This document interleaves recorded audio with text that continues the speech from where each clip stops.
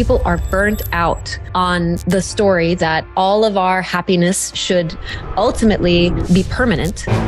The more we go into the love and the light, the more we must also be willing to venture into the opposite of those emotions the depression, the anguish, the sorrow. The deepest grief, if you go all the way into it and you don't resist it, will crack you open into the most profound gratitude. This horrible feeling that I want to avoid and repress and get over and transcend is actually the gateway to my greatest liberation. Your pain often becomes your purpose.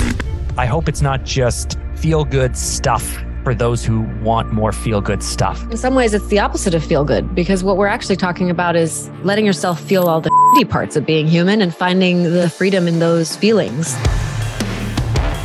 You know, if we're betting on ourselves, if we're an entrepreneur, if we're creative, if we're putting ourselves out in the world, we're always going to feel this tension of like the things that we want to do, but are we good enough? And I'm not quite sure. And people call it imposter syndrome and all this stuff. But when I heard you say that you had to work to end the war with yourself. I was so curious what that meant to you. I mean, it's, I guess, in order to unpack that, we'd have to talk about what we mean by the self. And the self is not one thing. So I think increasingly I'm learning and understanding that there are so many characters that live inside of us so many versions of ourselves, so many aspects of ourselves. And when they're in alignment and in harmony, it's super fun, right? It's that sort of like shapeshifter energy of, you know, in this moment, I'm the professional and I'm super focused in a meeting. And in this next moment, I'm, you know, surrendering with my lover. And this next moment, I'm having fun at a party with my friends and being silly. Like those are all the aspects of ourselves when, and they can coexist in harmony. I guess the war part comes when we have aspects of ourselves that feel equally important at, in terms of their voice at the table, yet they're in direct conflict with each other. Yes. Yes. Uh, oh my goodness. Thank you for sharing that. You know, you just mentioned a whole bunch of different versions of us. I always tell people, you know, if you think about your friends getting married, right? We've, I've been with my wife for a very long time, but um, there was this one summer where we had to go to like five weddings in one year and you know you do the whole thing. You do the, the wedding parties and the bachelor parties and the bachelorette parties and the wedding and this. I always think uh, you know is the version of you with your friends hanging out at the bachelor or bachelorette party is that the same version of you that's standing up there at the church in the tux or in the dress with you know the priest or the pastor and with grandma looking over your shoulder? Like they're both you but they're not the same version of you. And i think in that context it's like cool we can see that one is you having fun and one is you trying really hard not to offend anyone and clean up but when you speak about, you know, our professional life or our personal life or who we choose to be married to or who we choose to have conversations with and how we show up in all these different spaces, the thing I struggle with, which I think most people do is like, I'm not quite sure which is the real version of me. Mm-hmm. And I'm not quite sure whether the real version of me is something that anyone wants. Do you know what I mean? Absolutely. It's the core human wound the question of worthiness, of innate worthiness, worthiness beyond achievements, beyond label, beyond status, beyond all the external things that we use to validate our existence. And that is at the core, I think, what this whole, that's why I do what I do, because I want to connect people to that version of themselves, the aspect of themselves that is dancing with all the other characters, letting them express, letting them be there, letting them have a voice in the conversation and a seat at the table, but also not being governed by them unconsciously to the point where it can feel a bit schizophrenic or it can feel unsafe to allow certain parts of ourselves to be seen in, you know, like for example, I'll use my husband. He used to have his life in very neat boxes. Like there was compartments, you know, there was like his family life and who he was with his family. And then there was his work life. And then there was his go to Vegas and party like a rock star life. And none of these parts touched each other. They were very segmented and he was very comfortable with that because he didn't feel that the, the Vegas version of him would be, you know, loved and seen and respected in his business community and vice versa right? So so uh, it, in some ways we we compartmentalize ourselves very unconsciously for approval and for validation. And as long as we need the validation to come from an external source we are always going to feel at some core level disempowered and so the game of personal transformation, of true transformation, and I'm not just talking about personal development because that's a different thing and I can share the difference if you'd like, but transformation true transformation has to include the subconscious. It has to include the 85% of, of our operating system, of our way of being in the world that we can't see. And when we do that, and we shine the light of our awareness into those crevices, into those pockets, into those uncomfortable places, into the parts of us that don't feel worthy or safe or accepted by life, first and foremost. And we start to understand why, and we start to bring compassion and tools to those parts. We start integrating all of these fractured, separate parts of ourselves back into a more cohesive whole. And we have to really make contact with the part of us that unifies all of those seemingly separate aspects. And you might say that is, you know, connecting to your higher self or this is where it starts to get a little spiritual. And so you know a lot of times when people go on this path they end up in a spiritual place because it's difficult not to. But even if you just look at it through the lens of awareness pure awareness uh, of consciousness itself like what is that which is what which doesn't change and which never questions its own worth?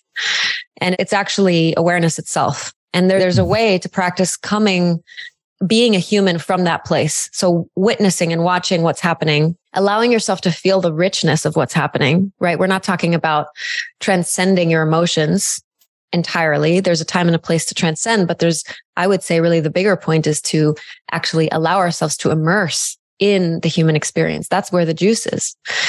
But can we immerse without getting identified to the point where we lose ourselves in it and we are no longer we no longer have the steering wheel of our experience in the seat of our awareness. Does that make sense?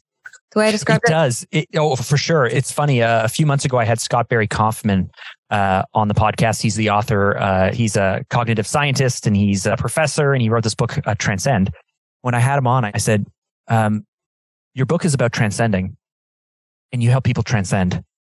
What does that mean? Like, just help me understand what does that mean? He was like, well, and it, we, I don't want to put him, I don't want to call him out here, but, uh, but he struggled to explain to someone who isn't in the spiritual world even or in that world like what the heck does that mean? And so when you say you know your husband is in is in vegas mode one you know family mode the other the first thing i think is like oh man i set up those walls in my own life. Because i don't know if um you know i don't know if i want to share me being a dad with the world. And I don't know if I want to share with my kids the conversations I have on this podcast.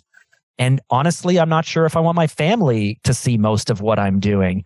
And then I go to post something on LinkedIn and I'm like, oh, what about all those people I used to work with eight or 10 years ago? What if they think I'm, if I'm saying like all that stuff we used to do together was terrible somehow because I'm, you know, I mean, like I just, I, I don't want anyone to know anything about any of it because I don't feel like they anyone will really accept these other versions of me that they may not see or be aware of.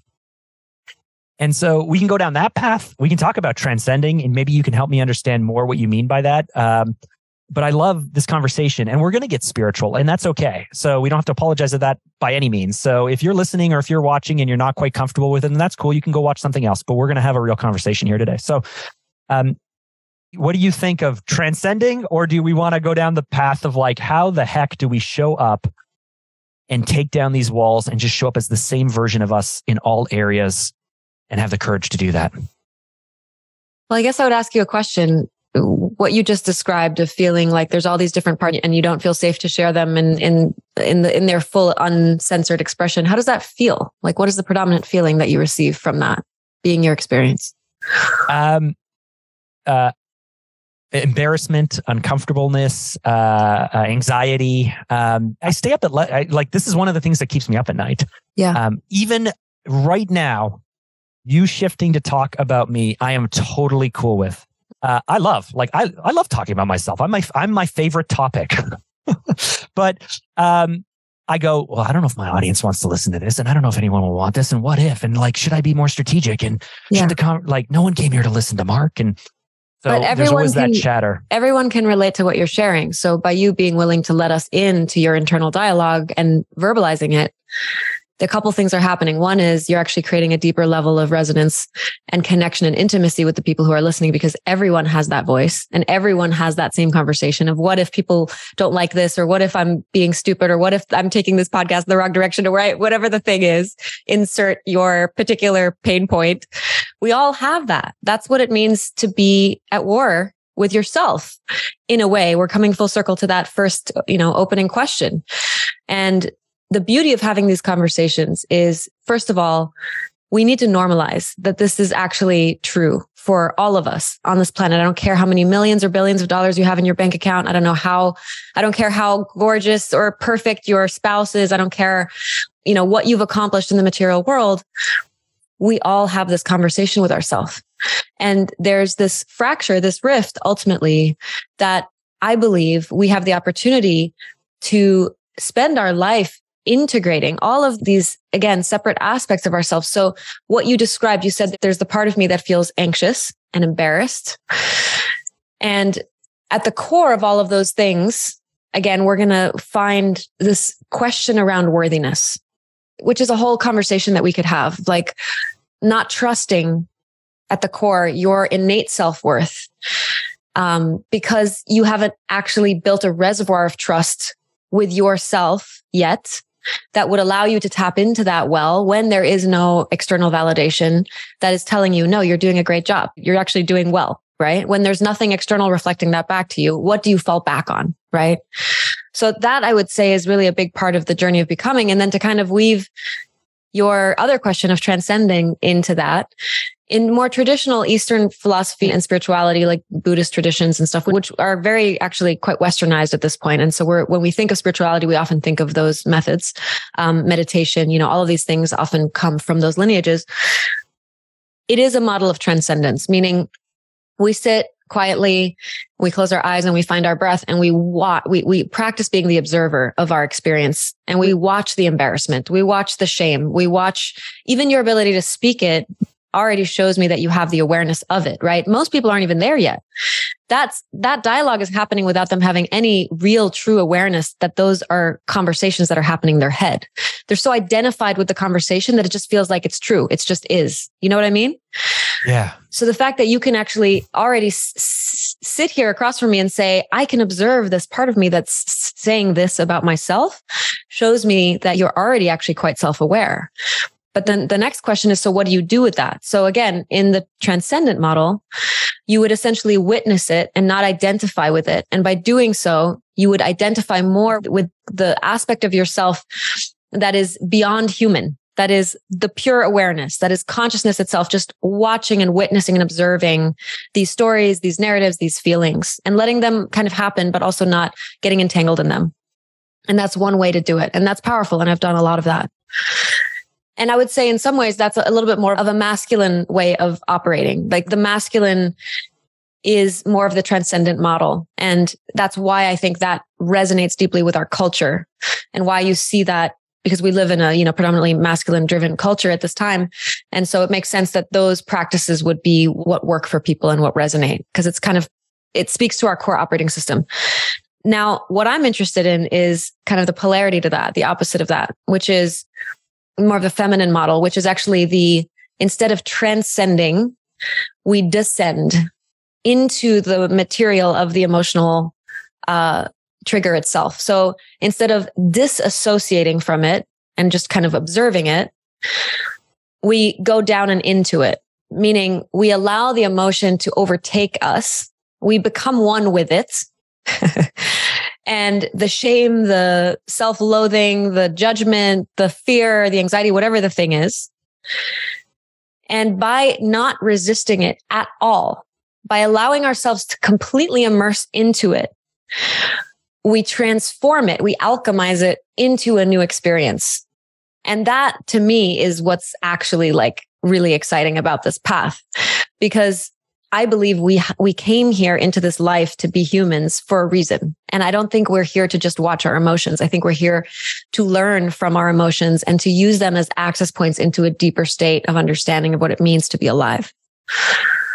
I'm smiling. I, I saw you react to me smiling only because it's striking so true to me. You know, my wife and I uh, we go for a walk. You know, since the pandemic happened, we go for a walk every day for about an hour with our dog, and it's our time to connect and debrief. And it helps take me from work mode to like family mode. Four o'clock every day, we do that. And my wife is like the biggest. Uh, she's a performer. She's an actress. She's a singer. She's um, she's the biggest feeler. Mm. And I am, I am becoming like I think we're all feelers and we're all thinkers, but it's just depending on how we filter. And I am so good at compartmentalizing I am so good at like thinking my way through everything and being an analyst. And, and my wife will have this like emotional high and then this low. And she used to fight it. She used to spend like a, she used to waste a lot of time trying to fight the feeling. And finally I was like, I was like, you just need to like, like you're going to feel terrible for the next two days. Enjoy it. Like, like enjoy how delicious the sadness is. Yeah. Enjoy how amazing, like just cry and just do all this stuff.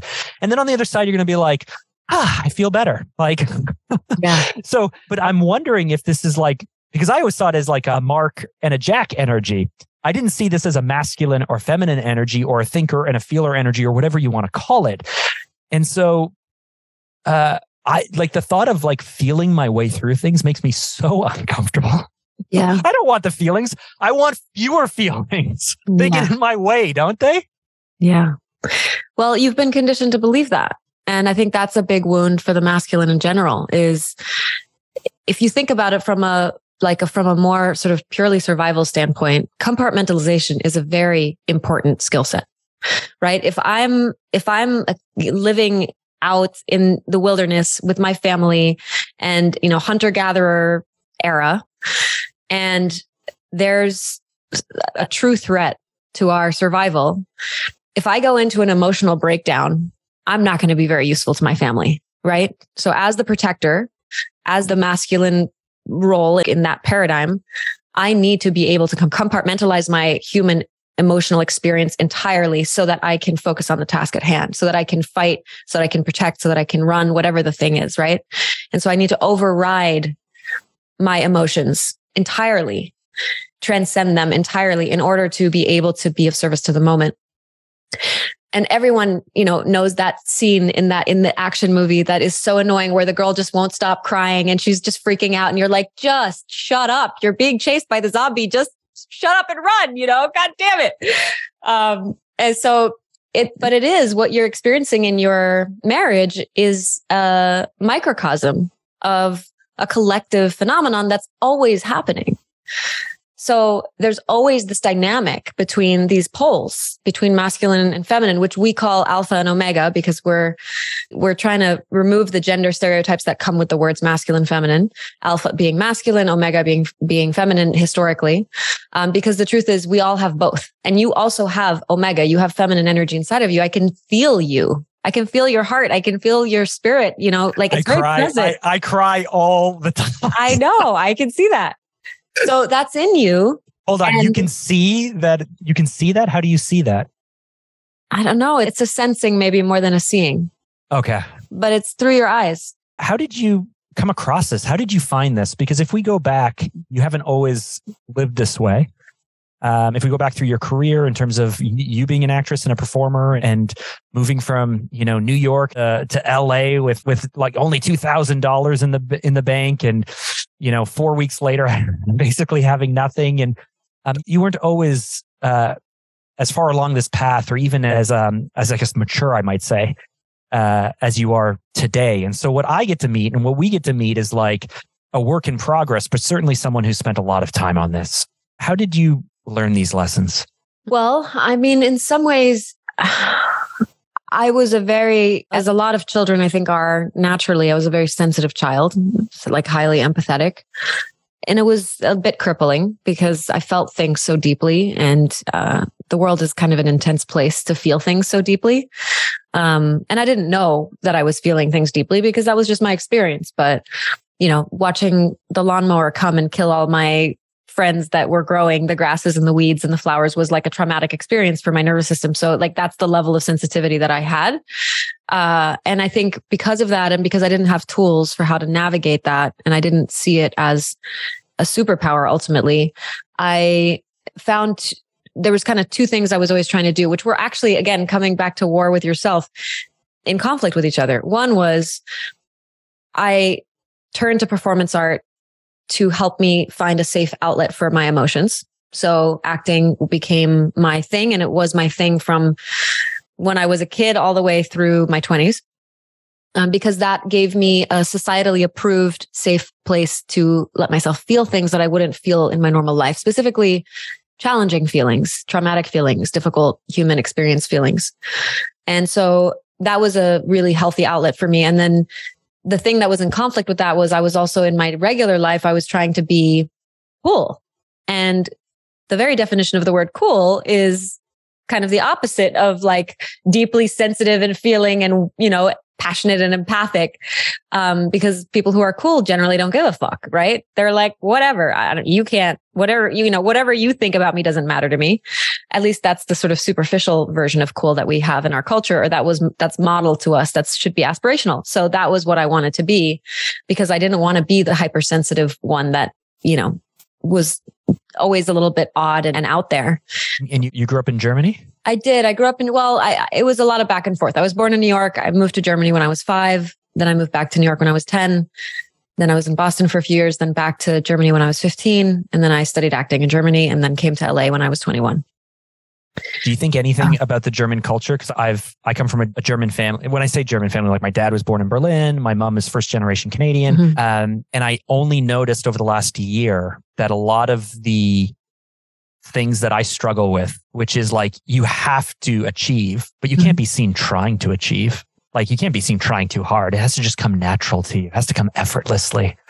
Um, and like a few of these things that are kind of like part of my family um, I realize I think are actually just like part of German culture. Mm. Um, and so I'm curious, uh, having seen both sides of the American versus German culture and being part of the entertainment industry and all of this stuff, do you think the German influences has kind of shaped you in a certain way?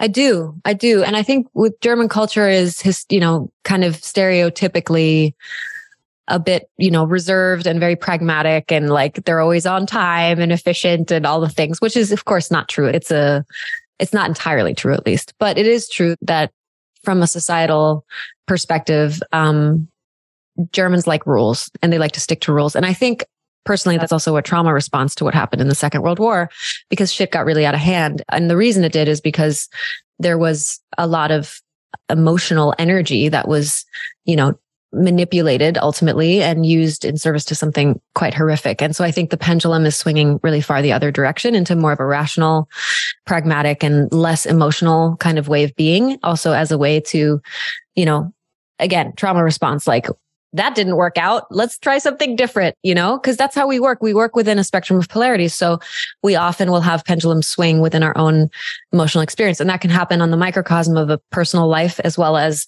a whole culture, a whole, you know, country, um, a whole kind of collective experience. So I would say that is true. And so, you know, being proper and appropriate and sort of conforming is something that's from a values perspective is more celebrated in Germany than in the US. There's always been this, and that's what drew me to, back to the US ultimately. This like rags to riches, you know, anyone can do it. And the messier it is in some ways, the better the story, you know, and there's this really exciting and raw and kind of um, powerful cultural narrative that we have in the US that is very appealing to people who are entrepreneurial or, you know, big dreamers. Um, and so I've always had both, I would say. Yeah. Do you think that the American vision, uh, the rags to riches, the anyone can do it? I know it's true for some people, um, but in your experience, is it true or is it um, a collective story that we're being sold? Mm, it's a really good question. Um, I mean, I think I do believe that everyone has the capacity, but I, I also believe that we're not all designed to do the same thing. So we at BEQOMING, we talk a lot about who are you designed to be? And that implies that there's a uniqueness to your design. There's a particular way in which you, like you came into this life designed to do something. And that might not be to, you know, be the founder of a startup, of a unicorn startup. Like that might not be your design. In fact, the reason it's called a unicorn is because it's probably very few people. It's a, probably a very small percentage of the population that is meant to have that. So I think all of us have incredible potential that, you know, very few ever fully tap into. Hmm. and I think so. I do believe that's true. I do believe we all have capacity to realize our potential. But I think a lot of us are trying to realize our potential outside of our design because of a story or an, or a really a, some pro, cultural programming that has made us believe that we should want the thing that the other person got. And so we aspire to do things that might not actually be in alignment with what is our best way of sharing our gifts with the world. And we have a very strong narrative in our American culture around bigger equals better. And that one is really, it's systemic and it's deeply embedded in our unconscious ways of operating. And I notice it within myself. I can see how, you know, when I, when I am asked to be on someone's podcast, the first thing I do is go look at how many followers does this person have and how oh, many, no. how many views, how many downloads, you know, like, because if it's under a certain number, I'm probably not going to do the podcast. And that is also, in truth, a manifestation of this more equals better sort of syndrome. Um, and so it's very deep. And I'm constantly battling it as well because I have a deep desire to scale my message and a deep desire to scale my impact. And I also know the deeper part of me knows that it's not necessarily about going wide, it's about going deep. Um, to go deep with with few can be just as powerful as to go wide with millions, right? Um, but it but even though I know that, I still observe my behavior adhering to this more equals better paradigm. Okay. So can can we use this as a, a, quick metaphor or lesson for me to understand the difference between masculine transcending and feminine descending? So you notice in yourself this feeling of like more is better. I want more. Let's go. Mm-hmm. Um, and so I have to believe that let me my thought is that like if we're going to be masculine and transcend i'm going to step back i'm going to make it objective i'm going to go okay well what am i feeling and why am i feeling it? And what am i touching upon? And oh what's the root cause over there? And i wonder why that happened. And i wonder why i reacted that way. And you may be working through it. Um what what i may have gotten that wrong even. But what's the descending way to be able to look at this yeah. I mean, I think what you just described, the example you gave is an intellectual processing. And that's really what therapy and psychology does really well, right? It's like, let's look at the problem and let's talk about it. Not a bad thing. It's just, it doesn't often create the results that people are looking for. At least it takes a long time. Because if you think of a human being as having many different layers, so we're not just our rational thinking mind. In fact, that's a much smaller percentage of us than the rest of it. So we have our physical, we have our mental, we have our emotional, we have our spiritual bodies. And so those are all a factor in how we perceive ourselves in reality. And so traditional talk therapy will literally only appeal really to the mental and maybe a little bit to the emotional, but only to the degree that you're actually talking about the emotions. You're not actually necessarily going into the emotions and feeling them. That would be more of a somatic approach. So obviously the emotion, the emotional body and the physical body intersect right? Because you're feeling your emotions in a somatic way, meaning in a sensory way. Um, through your nervous system, you're feeling your body, your emotional experience. And yet also emotion is energy. So the emotion also exists beyond what we perceive to be matter. Um, that's why when you watch a really deeply moving scene in a movie, that energy translates through the screen into your nervous system and evokes an emotional experience, right? So emotion can be transmitted just in the same way sound can be transmitted through frequency. The way that you are perceiving the words I'm speaking right now is through waves of energy that, that are moving, right? Into your the technology that is your ear that is then translating those sounds into meaning. So um the more feminine approach of descending would basically be to get out of your head entirely and let your physical body and your emotional experience become the prominent ex- the prominent forefront of your experience. And that is something that most of us struggle to do because we've never been given permission to do it and we've never been trained how to do it. We've been actually conditioned to forget how to do it because if you look at a kid like a toddler They're doing that they are, all the time. They are emotional train wrecks. It's Yeah, like it's like this popsicle is the greatest thing in the world, and then the next second it's like this is the worst thing ever. Well, that's because their cognitive, their mental, rational mind hasn't developed yet fully. So they're just pure feeling. They're pure omega. They're pure uh, omega energy. And so everything that's happening in any given moment, they're experiencing it without censoring it, without filtering it, without explaining it away. And they're experiencing it in real time. And what do we do when our kids have strong emotional reactions?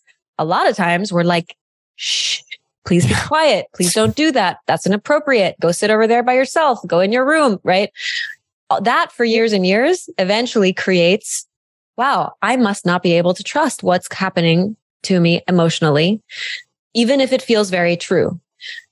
And then simultaneously, we're going through a school system that is hyper focused on the cognitive development and the intellectual, rational part of our operating system. Again, we need to be rational. We need to be logical. We need to be able to step back and, and observe our experience. These are super important things. Critical thinking. Yes, I'm all about it.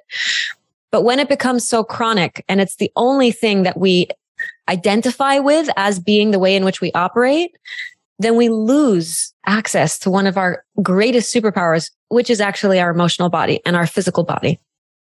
And I think that's why so many people are so miserable is because they've lost that connection. And so, how can you learn? Um, I find this fascinating, and this is, I, I didn't think we were going to talk about any of this stuff. You haven't challenged Um, me yet. You were you got me all excited. You're like, I'm gonna push back. I'm gonna challenge you. I'm gonna. but it's mostly because I'm just like, wow, this is so interesting. just so you know, listeners, before you hit record, I was like, I think we're, I think I'm going to challenge you a lot and play devil's advocate. And instead, now I'm just like, tell me more about how this works. Um, I mean, what do I know? I'm just, you know, one perspective. There's a lot of different perspectives. This, this is just where I've arrived in my journey. I- okay, far. okay, I love it. Now, so Yeah. you were. Let's get back to your story real quick. So you were an actress, Yeah. and um, and one of the stories that I've heard you talk about, like like cutting your hair, for example. Um, my wife, when I met my wife, she was 16. I was 17. We're high school sweethearts. We've Wow. been together for 23 years now, married for 18. That's beautiful. Congratulations. I, used to be embarrassed by it because people would be like, "Aw," and now I'm like, "Yeah, I'm pretty proud. I'm pretty proud of this." That's but epic. um, but when we met, uh, she had blonde hair because it was uh 2000. It was um, you know very Gwen Stefani, no doubt, like blonde hair, and I like blondes, and so for years and years and years and years and years and years, she would always dye her hair, and she never just told me that she didn't want to keep dyeing her hair. Like she wanted to do something different. She wanted to have darker hair or, or change things up or purple hair or whatever. But she knew that I really like blondes.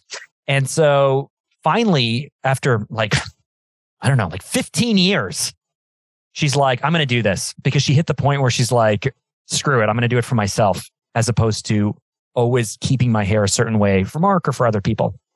And then she noticed that like one, I got used to it and it didn't really care. I was more attracted to her being ha- uh, happy and confident than blonde. And she then a few years later finally admitted to me that she only did it for 15 years because of me. And I was like, what? Like that makes me feel terrible. Like I don't want you to do this thing that you don't like doing and don't have to do because you think that it's important to me when it's not important to me and your happiness is more important to me. And so it's like such a small example. And yet, like your hair is pretty badass. It's pretty cool. And I know from your past, um, this was kind of like a big thing for you, like a big moment. And I don't understand why we allow ourselves to stay stuck in these ways when there's such small things that can make us so happy. Yeah.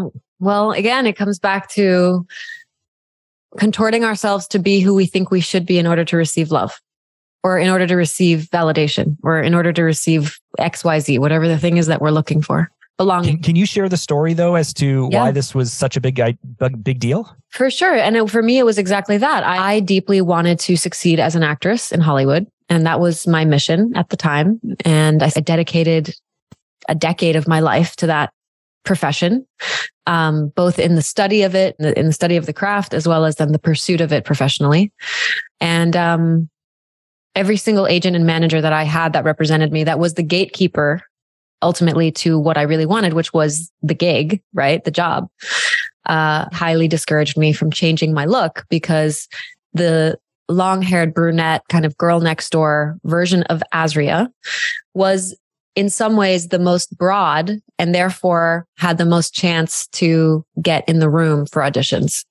And the more unique and edgy and different you are, unless you already have, you know, fame and a following, then it doesn't matter. But if you're someone who's trying to break into the industry, they're just throwing, you know, throwing everything at the wall and trying to see what sticks because it's very difficult to even just get an audition. Um, and so they were encouraging me to not make myself unique and specific because they wanted me to ultimately to succeed. And so it was it, the contortion came from a place of this is a sacrifice that I have to make in order to have the thing that I want. But what I didn't know at the time was that what the thing that I wanted was I wanted to feel seen and whole and worthy. And I wanted to feel like I could share my message in a way that would resonate and land. And I thought that I needed permission to do that. I believed firmly that in order for me to feel those things, I needed to check certain boxes and, and show up a certain way and play the game. And then I would get the thing. And what this path of transformation has unlocked for me is the recognition that I don't need permission from anyone or anything outside of myself when I am in communication and direct contact with the part of me that already knows that I am all of it already right here, right now. I don't need anything to change. I can already tap into every emotion that I want to feel in an instant if I train myself to know how to become quiet enough in my head so that I can access that within myself. And if you think about it, that's actually all acting is. Because to be a good actor is not to play pretend and pretend to be the character, but to be a really good actor is to become the character, to become one with the character where there's no more, there's no difference. It's seamless. And so what that means is I need to, as an actor, be able to choose an emotion like going to a buffet and saying, I'm going to double click on sorrow, grief. I just lost my child. And I need to be able to feel that authentically in the moment. That's a skill that you have to develop in that particular profession. And what that skill taught me was that forget acting. I can do that in every single moment of my day. I can choose in every moment how I want to respond to any given circumstance. Even if I'm facing a phenomenal failure in my life, I can choose how I want to respond to that. Now, does that mean that I'm the ultimate control freak and I can always choose the perfect experience in every moment? No, because that would be boring. But what it does mean is that when I am faced with something that is triggered by an external event, something devastating happens externally in my reality, and that has an emotional impact on me. Because I'm so aware of the emotional terrain of my internal world, because I'm so present to it, I know that feeling, yes, it's there and it's valid. And right now it feels all encompassing. But I also know that once I let myself feel it fully and I descend into it and I immerse myself into it and I alchemize it from the inside out. And you even used some language that I thought was interesting, which was, you know, like relish in it or savor it, which is actually a method that I use.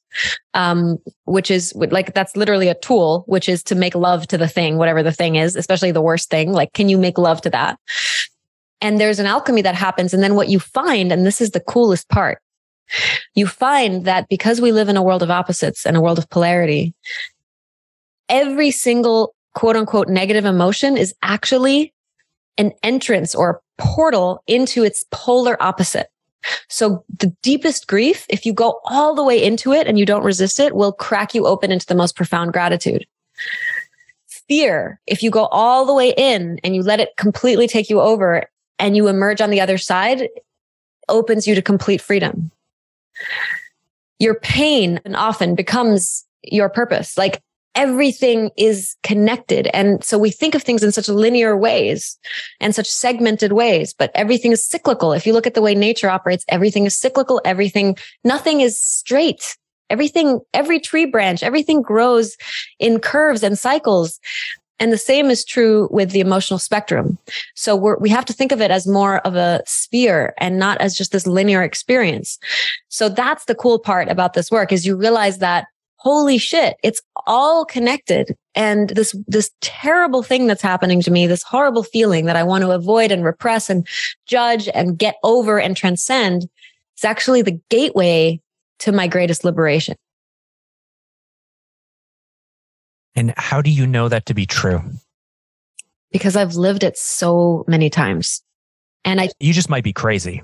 no, but I teach it to others and they have the same experience. So I And have they enough, might be crazy. aren't we all? we might like so so as you're saying this, I have gone through a pretty big journey over the last five years. I believe we're all going somewhere. I feel I I can feel what you're saying. Yes, when things are really scary, if I have the courage to push through, which I often don't, I often I've realized would actually rather self sabotage and play the victim uh, because it's so much more satisfying to like stay stuck than it is to do the really really hard stuff to push all the way through all this all these uncomfortable terrible things. But then on the other side it's like um you know less anxiety less depression uh, more confidence uh, uh, more uh, self-esteem. Um, being able to make decisions clear being able to show up for other people in my life better uh, being able to have more fun at work, being able to have the freedom of my calendar and my schedule, and like all these things that I've been able to learn over the last few years are coming from the very things you're talking about, which is the path is always through.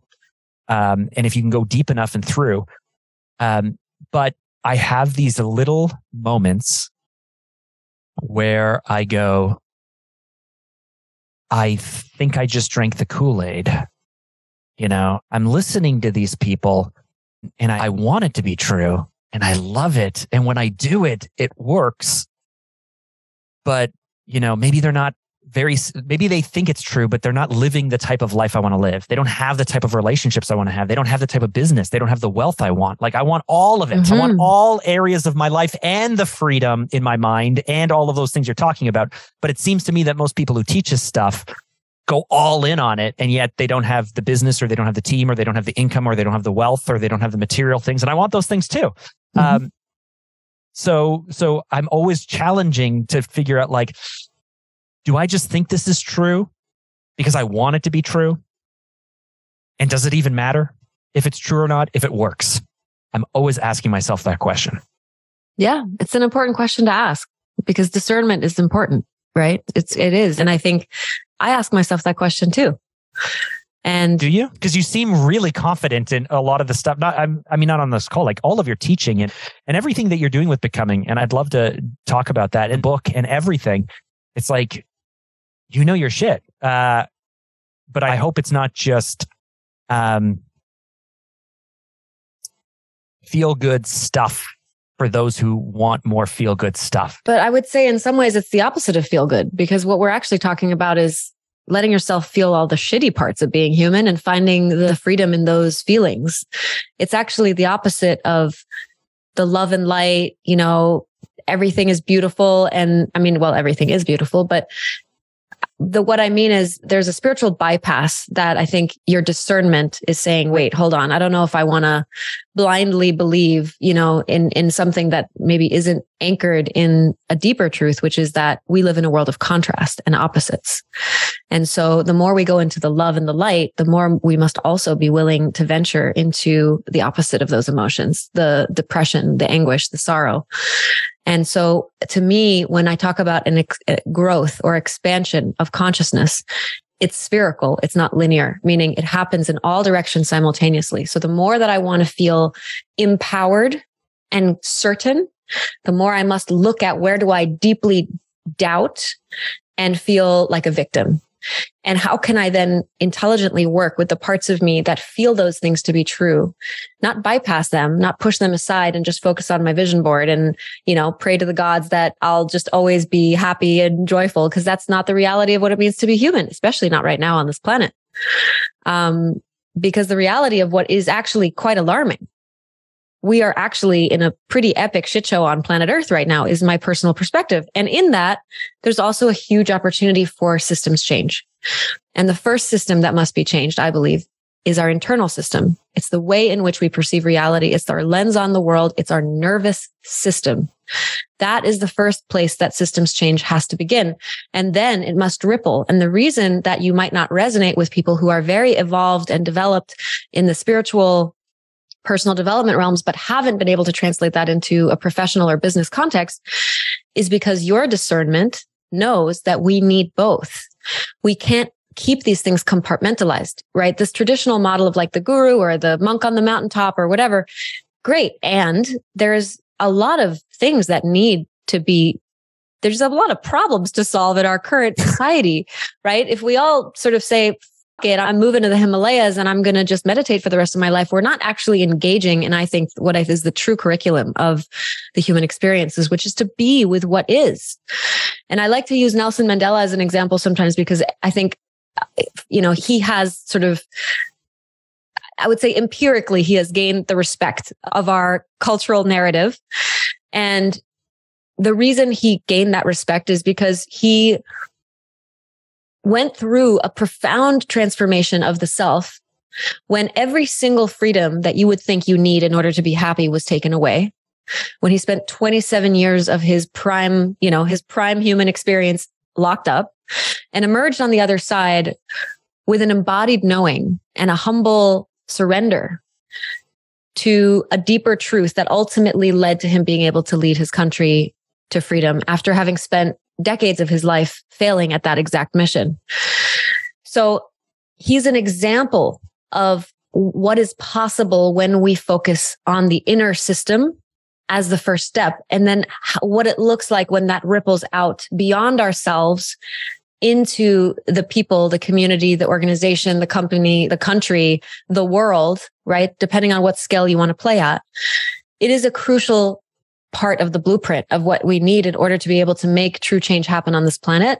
And I think that's why you're also seeing a movement in business toward a greater uh, desire to understand the self. You know, my husband has been in in YPO, Young Presidents Organization, for 16 years, um, and I've been speaking at conferences because he and I are, you know, we're doing our thing and we're going and sharing the good word and being like, hey guys, what do you think about maybe instead of focusing so much on your multi-million dollar company, like looking within and looking at where things not aligned, where are you not actually happy, where you where do you feel like you actually got all the things you thought you should have and you're still somehow feeling empty? Should we talk about that?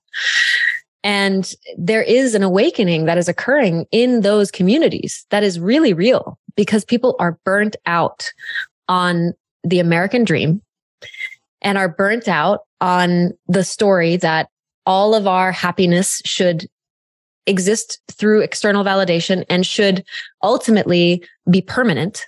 That story is dying too. Happiness is not a permanent state. It cannot be. That is not the point. So there's a shift that I see happening in so many ways and industries. And it's, and it is, it's slow, but it's in some ways it's picking up steam from my perspective. And I acknowledge that I live in a bubble. What you're looking for in terms of being able to truly lean all the way in and trust what you're hearing is you need embodied reference points of people who are able to stand in both worlds who are able to stand in the world of emotional intelligence and spirituality and also business and finance and making shit happen on the planet. Yeah, that was my mission last year. So in January, what are we in? 23? 22, January 22, 22, I had spent, um, I started my company when I was 23 in 2006. I spent 15 years working pretty hard and pretty focused on it. And I missed a lot of stuff with my four kids growing up. I remember one time, like maybe 2009, 2010, uh, my daughter came into the bedroom. She was like, she's now 16, but she was like four, five. And I looked at her one morning because I had gotten home from work at like four in the morning and it was like nah, 8 a.m. or something. And I had to like get back to work again. And I was so exhausted and I was so tired. And the project really, frankly, didn't matter. And I looked at my little daughter and I went, I have to go. And I started crying. Hmm. And she, I remember her saying, like, why are you crying, daddy? And it was like, because I have to go do this thing for a bank or something. like, like it just, it didn't even matter. Um, but I had worked so hard for all of those years. And so I know that hustle culture works. I know that you can be successful and you can achieve if you put all of you into it and work really hard and sacrifice everything else. It'll work. I don't know anyone who can do it without burning out though. And I don't know anyone who does it who at the end says it was worth it. But I know that it works. And so I want all of those things that I could get. Um, I don't need them as fast, but I want all of those things that I got without having to hustle. And so I don't know how to hold those two sides. You know, I don't know how to hold what I call of myself. This is my language for myself, what I call kind of the, um, the more, uh, spiritual, um, you know, totally opened, uh, like, like, um, Zen version of, of Buddhism. So like Zen version of me where it's like it's cool like these things take time why do we have to rush everything right like like why not do great work you're proud of then always feel overwhelmed and always feel rushed and so I want to approach life that way. But I want, I want to know that the outcome of hustling and business and everything else will also come along. Don't know that you can do both. I know that uh, Vishen um, Lakhiani, who I had on the podcast from Mindvalley, wrote a book. You know, the I think it was called "The Buddhist and the Badass," which is this idea that maybe you can hold both. But in your experience with what you're doing at BEQOMING, with what you're doing, helping people figure out exactly who you are designed to be, you know, by radically embracing your greatest challenges. Like, is this possible in your opinion? I do believe it's possible. And I would say that I'm a student of how it's possible right now, an active student. So I haven't figured it out. I haven't cracked the code. I have a lot of ingredients and I've learned a lot of things and I haven't been an entrepreneur and a founder for very long. Uh, so I'm new to the game. And I feel like right now my initiation is to try on. Well, I would say I'm actually coming out of that chapter now, but for the last six months, I was like, I'm going to try on hustle culture. I'm going to go into doing all the things, working 80 hour weeks, like being on Zoom calls for 10 hours a day, you know, project management tasks and like, like the gazillion things of what it takes to build a startup. I'm going to go all in and I'm going to see if it's for me. And I'm going to see what works about it and what doesn't. And I'm going to see if it's really truly necessary because all did, the reference did, Did you like it? The six well, months? Well, here's the thing. So there are parts of it that I did like and I like the intensity. I'm an intense person. I like the speed. I liked, uh, like, there was a turn on for me in like, holy fuck, this is a lot. And I'm doing it and I'm showing up to it with excellence. And I'm like finding real satisfaction and reward in that. And so th- th- that was exciting to see that and feel that in me and be like, wow, I can actually really like, I'm much more capable than I thought I was. And there's also a big part of it that where I could see that I was disconnecting from the very thing that makes me truly powerful.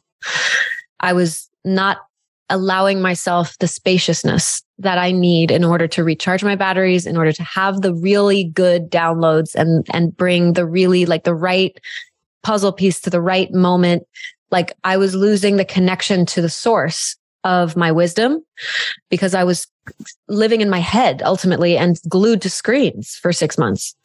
And so it was really important for me to feel that viscerally because that's what everyone else who's trying to build something significant is doing. And you know, when you have a burn rate of $250,000 a month, you're going to get up at the cra- ass crack of dawn and you're going to do the thing, right? Because you need to get some revenue flowing. Like you need to do the, yeah. you need to do the thing. That's really real. So I was like, okay, I really want to understand. I really want to understand that from the inside out. And I want to understand it. The way that I learn is by doing. So I immerse myself in things, right? Again, method acting style is kind of let me be the hustle grind entrepreneur and like really feel it. And it was cool to see that there was parts of it that I loved and I can see why it's so addictive and I can see why people get trapped in it for a long time. And especially as the stakes get higher and you're deeper and deeper down the rabbit hole, it gets harder and harder to do to say, no, hold on, time out. We need to take a break. It's not possible, actually. At least it doesn't feel possible. No, it's, you have to keep the machine fed. Like exactly. you have to keep it fed or you have to burn the whole thing to the ground. But there doesn't tend to be a lot of like, hey, let's just slow down a little bit. Exactly. And so because I'm also someone who believes that we live in a paradigm of ultimately free will and choice if when I was starting to tell myself that story of no, you can't slow down, you, you can't stop, you have to keep going, I would also simultaneously push back and question that and be like, well, said who? right? What is this? What is this power that I'm giving to this thing that I'm building? Like, am I running the ship or is it running me? Really? If I'm like, let's get honest about it. And how much do I want to let it run me? Because sometimes it's kind of fun to like surrender to the thing. And sometimes it actually starts to really wear you down. Um, and so, yeah, what I would say is, again, we get trapped in the construct of linear time.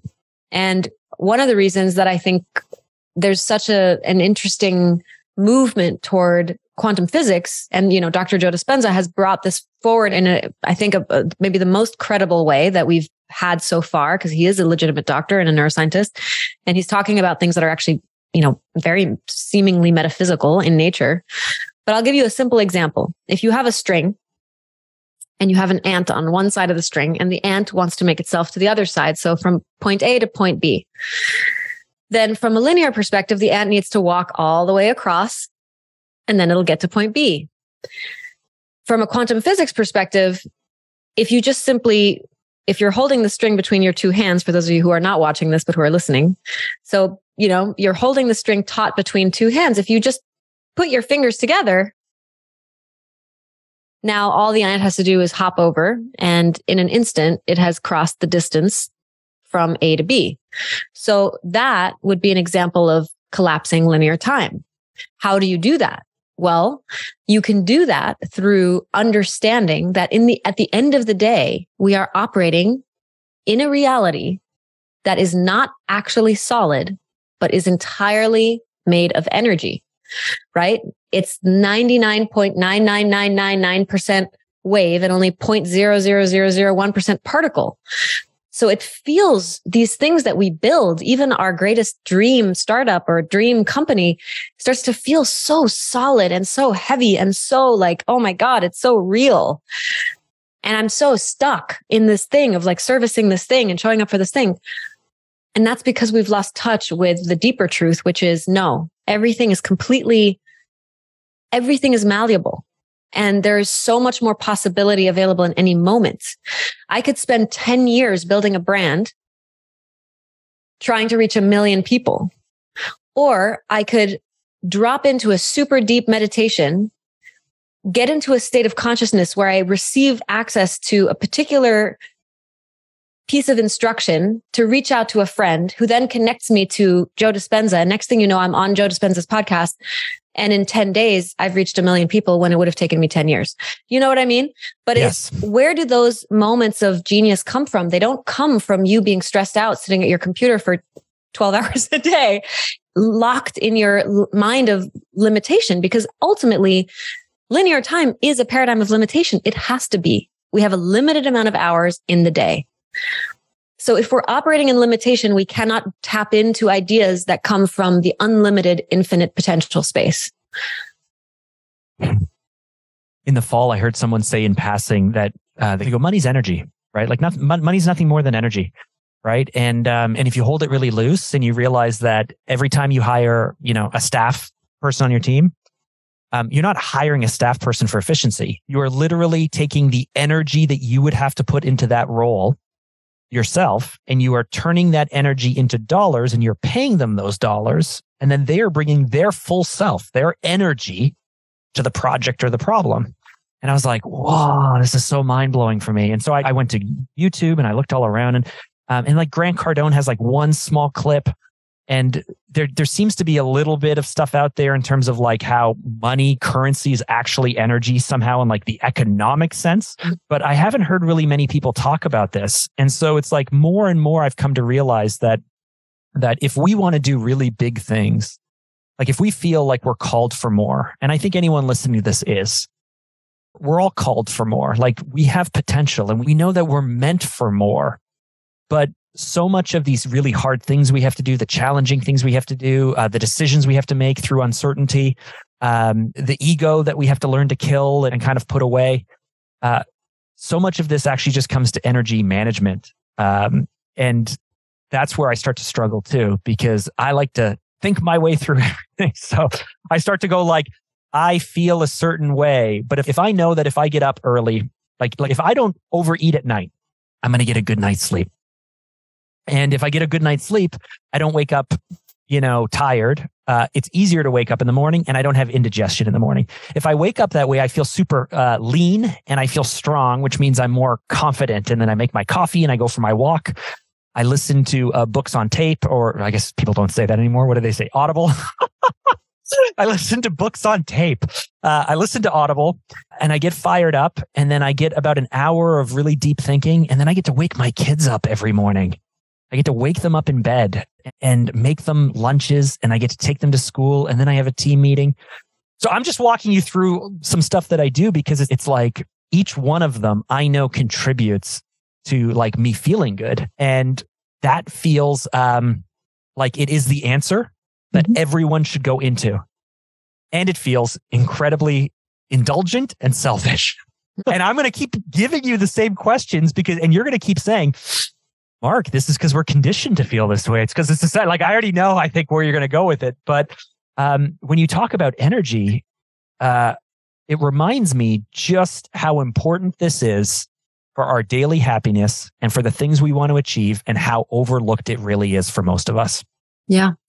Yeah. And what I would say is, why don't you experiment? Because you already have the awareness that doing the things you just outlined for us puts you into a certain mindset, into a certain energetic state that ultimately serves you and optimizes your day, makes you feel more fulfilled, makes you feel more, really gives you more confidence in yourself, which is really valuable because you're making decisions that are in alignment with what you know is good for you. So that's the basic level, right? And then now if you added two weeks of breath work every single day, 15 minutes of breath work in the morning, to measure, okay, how do I feel now? If I do that every single morning for two weeks, if I look at it from an energetic lens, how do I, how much more energy do I have in the day? How much more connected to myself do I feel? How much more confident ultimately do I feel? How much more power do I have? Really like true power, because that's what breath work does. going for a really aggressive run breath work or, or no? Well, I mean, it could be whatever modality serves you, but I'm saying if you added a modality that is newer, that maybe you don't do so consistently, that you know could unlock something, what you're doing is you're optimizing, you're exploring the realm of optimization. Then you might say, okay, now I'm going to add, you know, a cold plunge to that. Three times a week, I'm going to do a cold plunge. I'm giving you biohacking kind of examples because I feel like those are easier to identify with and a little bit more, you know, appropriate in our kind of like in this conversation. There's a lot of other modalities that would be, you know, much further out there, but, but that's accessible, right? And so I would say become a scientist of your own experience and of your own energy, because that's how, if you are a person that needs data to, to believe something or to trust something, then beautiful. What does it look like to get the data? What does it look like to run experiments and to, then to see how you feel on the other side because your experience will be undeniable. And then if you can replicate it and other people can have a similar experience, now you know you're onto something. When you talk about modality, I have to imagine that maybe you're talking about psychedelics or other things people can be doing. I know that you've experienced some of this and had some real breakthroughs. Um, I find this really curious and interesting uh, that maybe 10, 20 years ago, it would have been something that was way out there. Uh, I have a friend who is um, who is a psychiatrist, psychologist. I feel like I should know the psychiatrist who specializes in PTSD and trauma, and um, and I know that it's been really helpful in clinical settings and what have you. But um, I often wonder if playing with uh, psychedelics or having these types of breakthroughs actually reveal truth or if it's just a bunch of drugs just fucking us up and we just like the way it feels and we just run with it. Have you done psychedelics? I've been too afraid, but I'm very primed for it. yeah, I would say you can't answer that question from a theoretical place. You have to have the. Ex- did, did, I just answer it theoretically? No, you, or, you, or you mean you can't? I'm saying you posed the question, and I'm yeah. telling you the only way to get to the answer of am I, I making think, this all up? Am I just hallucinating and it's just a bunch of chemicals flooding my brain or am I actually having like a truly spiritual experience? You will not be able to ever answer that question as a bystander. Okay. Is it something to really carefully respect and be very cautious about um, and kind of fear a little bit? Or is that just, again, overblown drug culture, anti drug culture, whatever? No, that's a great question. I do think you should have tremendous respect for it and understand that it needs the right container, meaning it needs the right set and setting, or it needs the right intention, it needs the right facilitation. Um, it needs to be the right moment. I don't believe everyone should do psychedelics, and I don't believe that they should be treated lightly because what you're really doing is you're, you're opening yourself up and putting a magnifying glass on all of the things that are inside of you. And some of those things might be very difficult. You know, sometimes we repress things maybe all the time. We repress things, certainly traumatic things, because there's a part of us that doesn't feel safe to feel those things. So if we open those up and those become overwhelmingly real for us, and we don't have the correct tools to actually process that experience, it can leave us worse than when we started. So it is incredibly important to respect it and to treat it with a lot of reverence. Um, I don't think you need to have fear. I think fear isn't necessary in, in that, but discernment is great. Um, and ultimately the question of, am I making it up is, you know, like, can there be distortion in a psychedelic journey? Yes. Have I seen people take psychedelics and think they're Jesus Christ? Yes. You know, and, Hold on, that's like, a real story or you're just making that up? Oh, no, that's real. That's real. Okay. Um, because it's giving you access to something that I believe is a connection to something that is true, but it still has all of your projections and all of your narratives and all of your internal world laid on top of it. And so it can get confusing to be able to look at, okay, what is actually in this experience really true? Like, for example, with ayahuasca, which is a plant medicine that I've worked with a lot, it doesn't always give you direct access to the divine or to, you know, unconditional love or some of the things that a lot of people experience uh, there are people who have who go into that work and only feel pain and come out more confused than they were before. And so the question would be well was that a mistake right? Should they not have had that experience? And i would say that with the proper facilitation the proper integration of that experience you will ultimately always come out better on the other side even if it was painful, because what the medicine, in this case, ayahuasca was showing you or illuminating or bringing to the forefront of your awareness was something that was already inside of you that needed to be amplified and pronounced so that you could actually let yourself acknowledge A, that it's there and then start to deal with it. But the dealing with it doesn't always happen in the actual experience itself. It often happens in the work after. And that's a big part of what we do when we offer transformational work is we focus very much on the full spectrum of the journey, not just the experience itself. Um, but the preparation and the integration is, it's just crucial. Otherwise it's just another peak experience or maybe it's not peak maybe it's you know you know maybe the opposite maybe it's the opposite but it's just another it's just another experience that can create more confusion versus creating clarity. So tell me about BEQOMING. Uh, you know, you've spoken about your husband uh, a bit. You know, Benjamin, who uh, I don't know if you guys are co-founders or what, but you guys got into this together. Um, you so you have the organization, uh, you have the book, uh, BEQOMING everything you didn't know you wanted.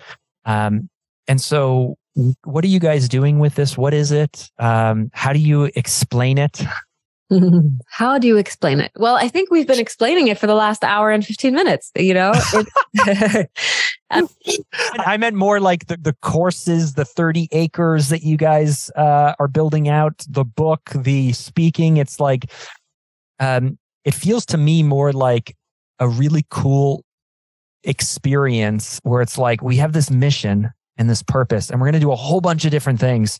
So that way, whatever version of experience you need, we'll be able to give to you. I don't know if that's right or not, though.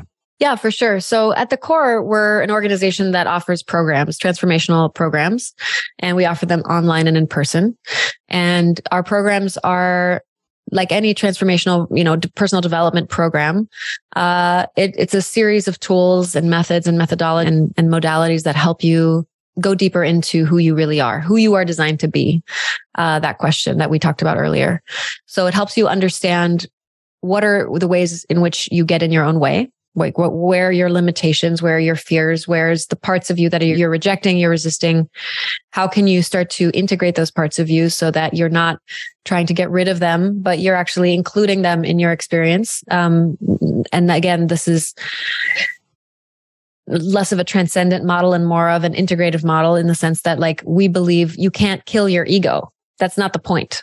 Your ego is uh, the part of you that experiences itself as separate, which is a big part of what makes you an individual on the planet. Like, you know, we're not all meant to be homogenous and exactly the same, but we can recognize that we are all connected and that there's a unity there while also celebrating our individuality. And the big part of that is just self awareness, really, right? Understanding why am I the way I am? What made me the way I am. We go deep into your backstory, understanding like your life circumstances. And then we take all of that and we harvest kind of the core of what it is that you want to work on specifically. Maybe there's challenges that you keep facing, recurring patterns in your relationship or in your work or in finances or whatever the thing is. And maybe it's in all of those categories. And then we start to do pattern recognition and look at, okay, where is this showing up in other parts of your life? What's underneath it? Let's not just look at the symptom, let's look at the root and then not just think about the root and talk about the root, but actually feel the root, actually go into those places that are uncomfortable and create a safe space for you to be able to process what you need to feel so that you can then ultimately truly evolve beyond it. So that's kind of at the core of what we do. That is super. As you were talking, I was just imagining, I'm like, I need to plug into this. I was like, the last you said, well, we've been doing this the last hour. And uh, I have learned a lot. And um, you've, re- you know what it is? It's, uh, you've reminded me of a lot of the stuff that I've learned and that I know. And yet maybe for the last six or nine months, I haven't really tapped into. You're reminding me of a lot of the hard lessons I had to learn as I deconstructed my business and I questioned who I am and what I want to do and all the stuff that happened even before COVID, but especially, you know, when we had this whole shift. And um, I have spent the last six or nine months very much in my head, very much focused on logistics and timing and business and all of this stuff. And you're reminding me of um, of a lot of the stuff that maybe I just I've been I've, if if we're gonna hold both right the Buddha and the badass um, the person who who really wants to hustle and make stuff happen but also wants to do it you know in a different way um, you're reminding me of a lot of the stuff that that I knew to be true and kind of got distracted from so I really appreciate that. Beautiful and I would say that's a huge part of my job description is just to remind people of what they already know but don't aren't willing to give true full attention to and we create space where you can actually let that part of you that already knows expand your knowing. And knowing is something we talk a lot about. Like how, what are the circumstances? What are the pathways to connect you to your deepest knowing? Because that knowing will inform everything else in your life. You are the common denominator in all other areas of your life. So if you are connected to your knowing, and you have that certainty and that trust, ultimately, that internal trust with yourself and external trust with life to have your back, then you become unstoppable. Hmm. I have one question for you that's very selfish. You know, I am extremely malleable, um, which is like one of my superpowers. I can connect with almost anyone about almost anything. Um, if I'm watching a certain TV show, I start to talk like I start to talk in the cadence and the rhythm of the TV show I'm watching. Uh, if I'm around a bunch of my, you know, like more conservative entrepreneur friends, I take on more conservative habits. If I'm around um, my much more progressive friends, I'm suddenly over there. So it's like I, I'm like really good at being able to like show up um, and have fun and be the true version of me in all of these. But but I also start to question then like again early question I asked. Um, I'm not quite sure which one the real version of me is. And um, I'm not sure what advice you'd have for someone like me. The advice I would have is that you're not going to think your way there to the answer. It's not going to come from your cognitive, intellectual, rational mind. It's going to come from something deeper. And so what are the circumstances that you could, can create that can allow you to create a relationship to that deeper part of yourself? I call it your ancient intelligence. Like, you know, we're in this era of AI and this is like the polarity of that the ancient intelligence that you are that we are if you look at evolution like we we are ancient intelligence. Our bodies are supercomputers. Our consciousness is profound. And we've just never been given the manual for really how to understand how to use this molecular masterpiece that we are and unlock its true potential. So it will require your head, being in your head is safe, right? There's a skeptical part of you, the part of you that questions everything. And that part of you is also your in some ways the very thing that makes you brilliant and also the shadow side of it is it's the very thing that will keep you stuck if you keep letting it be at the forefront of your experience so to suspend disbelief for a moment and let yourself drop into something deeper and this is why breath work might be interesting because it does that pretty reliably it forces you out of your head that's why it's a great modality for high achievers and that's why it's so popular in, in the entrepreneurial biohacking kind of world, because it forces you out of your head. And I'm happy to share a breathwork practice with you that you can experiment with. But start to feel start to let yourself feel more and create space for those feelings. So when you go on your morning walk, instead of listening to your book on tape, which is also input, which is also putting you in your head more, what would it look like to listen to really amazing music instead? What would it look like to breathe deeply? What would it look like to just let yourself be instead of always doing something? And it's in those in between moments that you're going to start to connect to something that has the answers you're looking for. Wow. Azrya, thank you so much. Uh, I have one last question for you, but before I ask it, uh, where is the best place for people to connect with you? You can find us on our website, becomingwithaq.me. And then we are also BEQOMING on social media. Um, yeah. And we're really, we're, I guess the one thing I didn't talk about is we're building a community, you know, of change makers, of thought leaders, of people who are committed to transformation from the inside out and for it to not just end with the personal work and be the, you know, the monk on the mountaintop, but actually to let that ripple into really tangible, like large scale businesses and organizations and projects that are purpose driven and that can have a ripple of impact on the planet. So that's what we're building. And we're really excited about all of it. And it's a massive vision and a massive mission. And so if you're feeling called, any of you listening, feel free to check us out and, and dive deep with us. I love your, um, I love your, I mean, your spirit, your energy, which you're magnetic, but, um, but thank you for sharing, you know, even earlier when I asked a question, you're like, I'm still kind of working through this and I'm not quite sure. Um, because that's what this is all about, right? You know, we, I struggle with this. I love it and I struggle with it. It worries me that like right now, what we're doing, this is life and this is it. This is all life is unless we choose to make it something else. But every moment that's passing by is like, this is it. Um, and so the fact that you're so open and you're willing to share, um, and yet speak with such confidence. I need that certainty. So I really do appreciate it. Uh, the final question I have for you is at the end of the day, what does it all come down to? Love. I don't know. There's this may sound cliche, but the, at the core, like, why do we do anything? It's all for love.